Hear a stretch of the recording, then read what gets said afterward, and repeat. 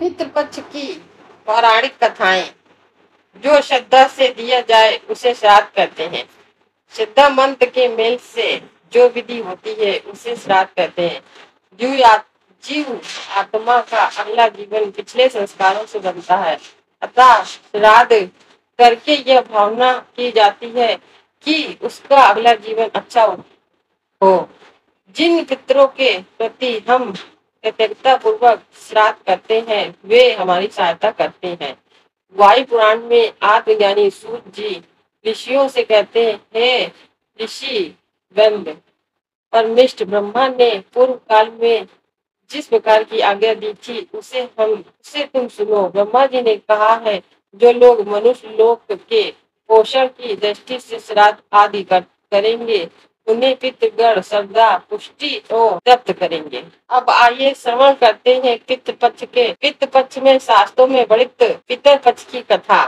शिव पुराण के अष्टम स्कंद में कोटि रुद्र संहिता में यह कथा है। एक बार गौतम ऋषि ने ब्रह्मा जी की दस हज़ार वर्ष तक तपस्या की। इसके फलस्वरूप उन्हें अनेक सिद्धियाँ प्राप्त हुई। जिस क्षेत्र में गौतम ऋषि निवास करते थे, वहाँ उस समय पानी का अकाल पड़ा हुआ था। गौतम ऋषि ने वरुण देव की तपस्या की। वरुण देव ने छह महीने में प्रकट होकर उन्हें वरदान मांगने के लिए कहा। गौतम ऋषि ने कहा, हमारे क्षेत्र में जल की वर्षा हो जाए, जिससे यहाँ का आकाश समाप्त हो जाए। वरुण देव ने कहा, यह मेरे बस की बात नहीं है। कुछ बातों में शंकर जी का विधान है, परंतु मैं आपको वरदान स्वरूप एक गड्ढा भर देता हूँ, जो हमेशा भरा रहेगा। इससे आप अपने सभी प्रकार के देव पितर एवं अन्न उगाना पूर्ण कर सकते, सकेंगे।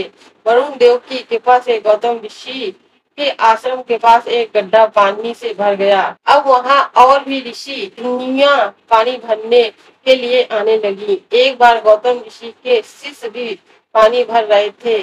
उन ऋषि पत्नियों ने शिष्यों को डांट कर भगा दिया। ऋषि पत्नियाँ ऐसा ही करती रहीं। पहले अपने आप पानी भरती और फिर गौतम ऋषि के शिष्यों को भरने देती। अब गौतम ऋषि की पत्नी अहल्या पानी भरने लगी। अन्य ऋषि पत्नियों ने अपने पतियों को जाकर झूठ मूठ अहल्या जी की शिकायत कर दी। कि हमें गड्ढे में से पानी नहीं भरने देंगे वो अपने गड्ढे का अहंकार है। अब ऋषियों ने गौतम ऋषि से बदला लेने की सोची। उन्होंने मिलकर एक यज्ञ किया, जो काफ़ी दिनों तक चला। यज्ञ में से जग देवता प्रकट हुए और वरदान मांगने के लिए कहा। उन ऋषियों ने कहा, हम गौतम ऋषि से बदला लेना चाहते हैं। कुछ ऐसा करो कि गौतम ऋषि का अनिष्ट हो जाए और वह यह जगह छोड़कर मजबूर यहाँ से चले जाएँ। यज्ञ देवता ने उन ऋषियों को बहुत समझाया कि गौतम ऋषि बहुत बड़े तपस्वी हैं, उनके साथ ऐसा नहीं करना चाहिए। परंतु ऋषि नहीं माने। उन्होंने यज्ञ देवता से कहा, आपको हमें यह वरदान तो देना ही पड़ेगा। अब यज्ञ देवता उन सबके सामने मजबूर हो गए, क्योंकि उन्होंने यज्ञ देवता का अनुष्ठान किया था। यज्ञ देवता ने मजबूरी में उनका उनको वचन दे दिया कि ऐसा ही होगा। यज्ञ देवता एक निर्बल गाय का शरीर धारण करके गौतम ऋषि के खेतों में घुस गए और उनकी फ़सल खाने लगे। गौतम ऋषि ने पतले तिनके के समान डंडे से गाय को जैसे ही खेतों से खेदेड़ा गाय मर गई। अब सारे ऋषियों ने महर्षि गौतम पर गौ हत्या का आरोप लगा दिया और कहा, तुमने गौ हत्या की है, इसलिए हम सब तुम्हारा बहिष्कार करते हैं। गौतम ऋषि और उनकी पत्नी ने उन ऋषियों से बहुत माफ़ी मांगी, परंतु सभी ऋषियों ने उनको बहिष्कार कर दिया। पितृपक्ष में जब पितरों का समय आया, गौतम ऋषि करवाना चाहते थे, क्योंकि ब्राह्मण को भोजन कराए बिना श्राद्ध पूर्ण नहीं होता। परंतु कोई भी ब्राह्मण गौतम ऋषि के घर भोजन करने के लिए तैयार नहीं हुआ।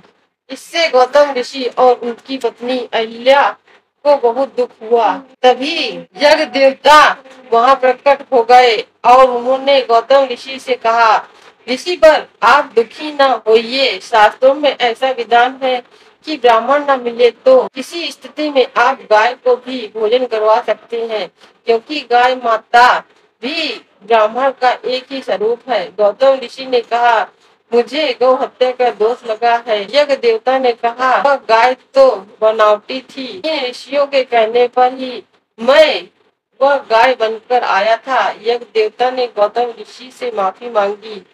अब गौतम ऋषि ने श्राद्ध पूर्ण किया, जिससे अन्य ऋषि जल गए। सभी ऋषि गौतम ऋषि से कहने लगे तुमने अपने पूर्वजों को पूर्वजों से पूर्वजों के प्रति भी अपराध किया है।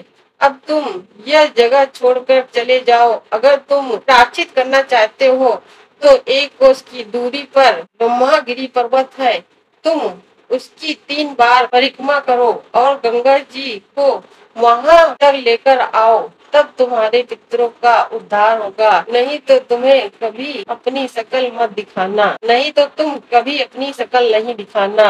उन ऋषियों ने उनका आश्रम और उनकी सारी ज़मीन छीन ली और गौतम ऋषि अपनी पत्नी अहिल्या के साथ ब्रह्मगिरी पर्वत पर रहने लगे। वह और उनकी पत्नी शंकर भगवान की आराधना करने लगी। उन्होंने एक करोड़ पार्थिव शिवलिंग बनाए और उनकी तपस्या करते रहे।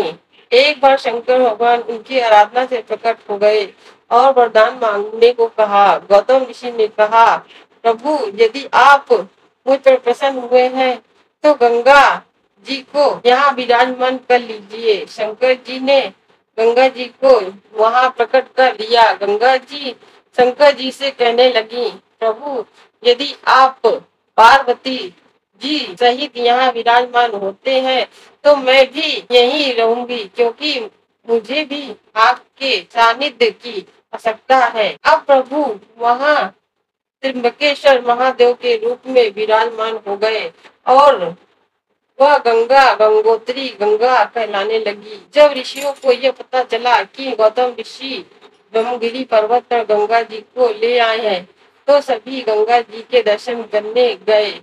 परंतु गंगा जी ने उनको दर्शन नहीं दिए। वह लुप्त हो गई। तब गौतम ऋषि ने गंगा जी से प्रकट होने के लिए कहा, गंगा जी ने कहा, इन ऋषियों ने आप, आपका अपराध किया है, इसलिए इनको शिव पूजन का कोई अधिकार नहीं है। परंतु गौतम ऋषि ने कहा, देवी, इन, इन्हें माफ़ कर दो, क्योंकि इनके कारण ही मेरा भला हुआ है। मुझे आपके और शंकर भगवान के दर्शन प्राप्त हुए हैं और उनके कारण ही यहाँ त्रिम्बकेश्वर महादेव की उत्पत्ति हुई है। त्रिम्बकेश्वर महादेव तीन शिवलिंग के रूप में है। ऐसा कहा जाता है कि यह ब्रह्मा, विष्णु और महेश है। बोलिए त्रिम्बकेश्वर महादेव की जय। अब आइए सुनाते हैं पित्त पक्ष की दूसरी कथा। पुराणों के अनुसार जोगे और भोगे दो भाई थे। जोगे धनी था और भोगे निर्धन। दोनों में अत्यंत प्रेम था। जोगे की पत्नी को धन का गवर्न था, लेकिन भोगे की पत्नी सरल हृदय की थी। पितृपक्ष के आने पर जोगे की पत्नी ने उससे पितरों का श्राद्ध करने के लिए कहा तो भोगे इसे कार का काम समझकर टालने लगा, लेकिन उसकी पत्नी जानती थी।